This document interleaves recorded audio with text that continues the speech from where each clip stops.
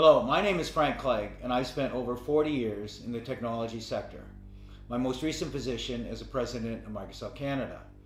In my career, I've seen the tremendous benefit that technology can provide. I've also seen the potential harm if technology is not implemented correctly.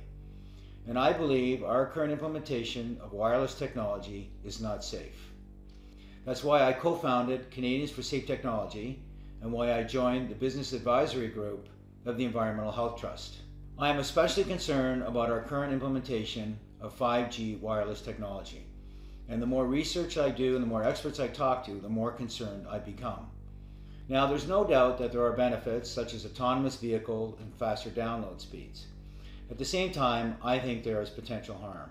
I think it's important that we understand that 5G is not just an incremental number on our cell phones. In fact, over 230 scientists and researchers from 41 countries around the world have formally written to the United Nations, their member nations, and the World Health Organization expressing their concern over the planned rollout of 5G technology, especially for vulnerable populations such as children, pregnant women, and the environmentally sensitive.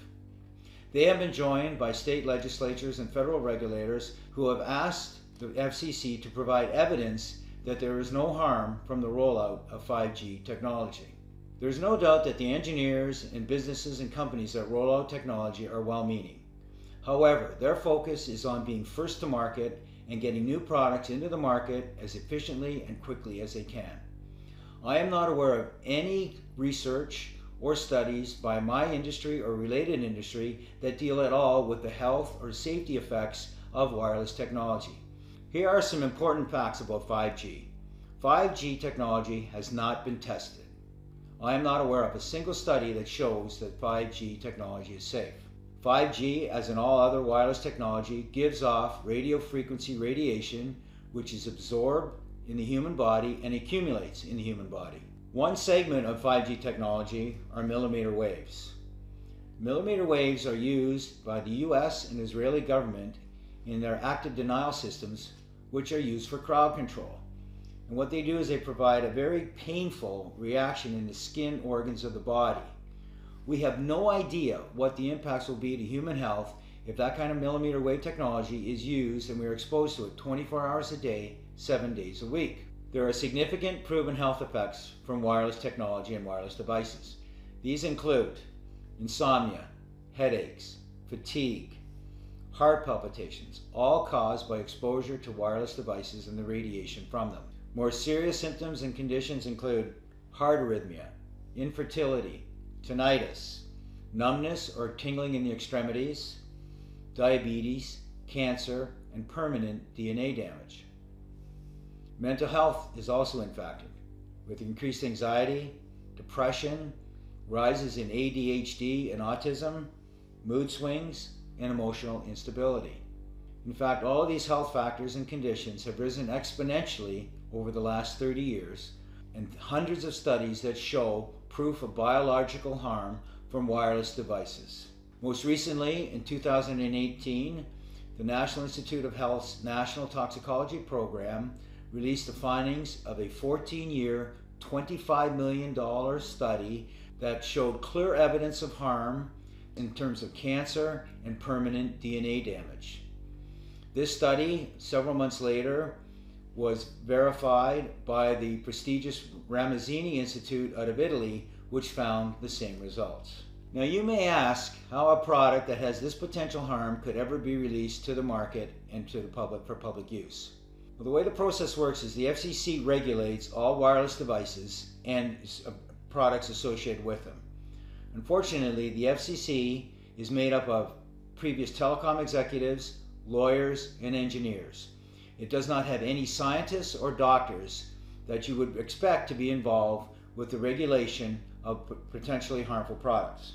In fact, the FCC guidelines are 20 years out of date without any major significant improvement. Countries such as China, Russia, Italy, and Switzerland have safety guidelines that are 100 times safer for their citizens. The FCC guidelines are based on small, short term, infrequent exposure. They do not worry about the accumulated effects for multiple devices. They don't measure or monitor exposure 24 hours a day or seven days a week, and they have no special consideration for children, pregnant women, or those who have shown environmentally sensitivities to wireless radiation. In addition to the concerns about the guidelines, there is actually no oversight provided by the FCC, and in fact, the telecommunications industry is self policing. So, what we are left with is almost a Wild West scenario where the regulations and the guidelines are significantly lacking, and the industry is left to its own accord to roll this technology out to the marketplace. In addition to the concerns about the FCC guidelines themselves, the Federal Telecommunications Act of 1996 prohibits any telecommunication company to be sued on the basis of the safety or health of their products. So, in other words, there is no liability to the telecommunications industry of any of the impacts of their products. Just last week, the reinsurer Swiss Re came out with their annual forecast, and they specifically identified 5G technology as an upcoming insurable health concern globally over the next three years. There is also mounting evidence that the telecommunications industry knew about the potential impacts of RF radiation years ago. And in fact, we're starting to see some of the behavior from my industry similar to what the tobacco industry did over the last few decades. The telecommunications industry has over 500 lobbyists working in Congress and other areas of legislature protecting the industry Together, all of these issues that I've referenced, plus the general lack of awareness in the general public, have led us to the situation where we are today. So, where are we today? Today, we currently have a significant amount of exposure in our homes, in our businesses, in our schools, and in most public areas we go to. Cisco has announced and predicted by 2030 there will be over 500 billion wirelessly connected devices in the world. That works out to be almost 60 devices for every person on the planet. Many states and cities around the world are debating and passing legislation about the rollout of 5G technology. And in fact, what we're seeing in the US is at the federal and the state level, they're fast tracking some of this legislation to support the rollout of 5G infrastructure. Unfortunately, this legislation seems to be taking away all individual rights and the rights of local towns and counties and cities and passing more power to the telecommunication companies. We believe this is a historic and precedent setting power shift from the individual and state and local level over to an industry. In fact, many communities in the US and around the world are passing moratoriums preventing the rollout of 5G technology until it is proven safe. 5G will impact you personally.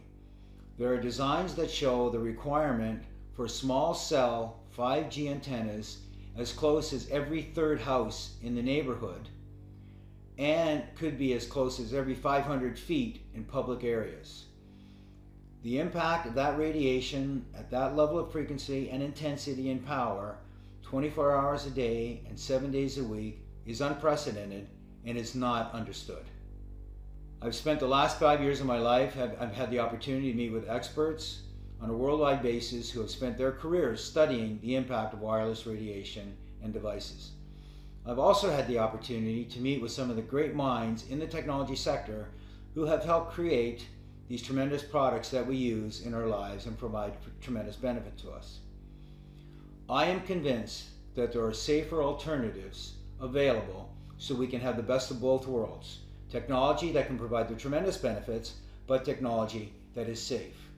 There is no incentive or motivation to provide the research and the funding to look for safer alternatives. So that's why it's up to us to help encourage that investment. That can be by asking our legislators to pass legislation encouraging industry to do it, or it can be by us directly trying to advocate for change in the industry to allow them to become more responsible to provide safer technology that still provides tremendous benefit. We can't do this all on our own. We need your help. Here's what you can do. The most important thing is to get educated. We have provided a little bit of an overview and some of the scientific evidence that shows there's a potential harm.